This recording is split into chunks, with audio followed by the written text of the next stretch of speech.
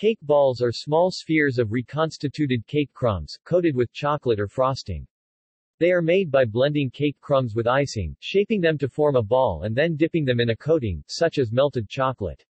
Cake balls were originally created from the crumbs of leftover or stale cake to prevent waste.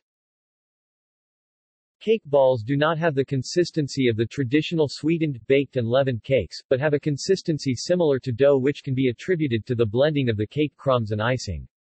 Cake balls are sold in various bakeries as well as mall kiosks, they are also available to be purchased as gifts. The bite-sized snacks may be displayed on a stick known as a cake pop, and can be decorated with ribbon. They are especially popular during the holiday months. Cake balls can be decorated in a variety of ways, using such items as sprinkles, nuts, chocolate shavings, candy or other confectionery toppings.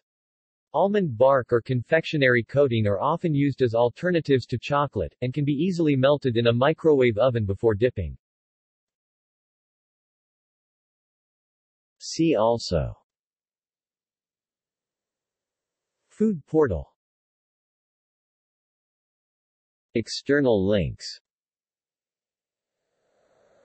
Original cake balls recipes at How to Make a Cake Balls blog